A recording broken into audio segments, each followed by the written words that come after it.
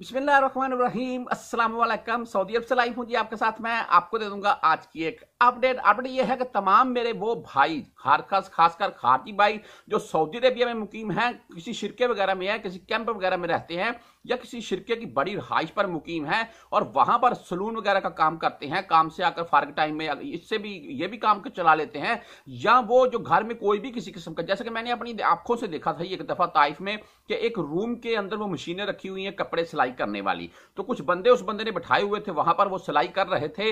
बात ये क्यों कर रहा हूँ? घर में कामकाज के मुतलक ये न्यूज़ ही इसी के मुतलक है। रियाद में काफ़ी कार्रवाई हो रही है तो इसके मुतलक मैं आपको न्यूज़ से अपडेट करता रहता हूँ। आज की न्यूज़ भी यही है, रियाद में कार्रवाई की गई है। कार्रवाई तो यह की गई है तो वहाँ पर कुछ बंदे मुकीम थे, सऊदी ने बैठाए हुए थे, और ऐसे ही, जैसे मैंने आपको बताया जी ऐसे ही काम कर रहे थे। लेकिन एक बात यहाँ पर आपको पहले बता दूँ मैं। मैं एक दफ़ा अलवर शहर में मौजूद था, वहाँ पर एक सुनहरे की दुकान थी, यानी कि सोने गोल्ड की शॉप थी जी। उसके साथ उसने बंदे ने एक शॉप किराए पर ली हुई थी। वहाँ पर दो इंडियन लड़के बैठाए हुए थे, बाकायदा बल्दिया की परमिशन वगैरह लगी हुई थी। काम क्या कर रहे थे वो? सिर्फ़ और सिर्फ़ सोने में, जैसे कि होता है, अंगूठी बड़ी है, उसको छोटी कर दी है छोटी है, उसको बड़ा कर दें, या कोई ना कोई किसी किस्म से, किसी भी किसी किस्म का कोई टांका वगैरह लगाना हो तो वो काम करते थे, लेकिन बल्दिया की परमिशन के साथ और एक शॉप वगैरह बाकायदा रेंट पर ली हुई थी, जिस सऊदी की वो शॉप थी गोल्ड वाली, उसी नहीं। दो बंदे वहाँ पर बैठाए हुए थे। लेकिन ये रियाज शहर में भाई घर में ये काम कर रहे थे, ये सऊदी ने इनकी शिकायत लगाई है, उसने तो बाकायदा ये भी कहा है कि ये दो नंबर तक भी, दो नंबरी भी कर रहे थे, अंदर सोने में कोई मिलावट वगैरह का काम भी कर रहे थे।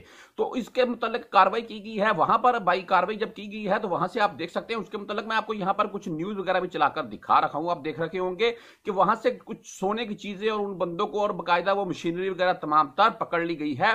सऊदी अरेबिया में ऐसा कोई भी काम जो भाई कारोबार से मुंसलिक हो और वो अपने रूम में बैठकर आप करते हो, वो ममनू है भाई। उसके लिए आपको बाकायदा बल्दिया वगैरह की परमिशन लेनी पड़ती है और शॉप वगैरह किराए पर लेनी पड़ती है। तो तमाम खारजी भाई, कोई भी किसी किस्म का काम अपने घर में करने से भाई गुरेज कीजिएगा, क्योंकि अभी सऊदी अरेबिया में काफ़ी सख्ती कर दी गई है।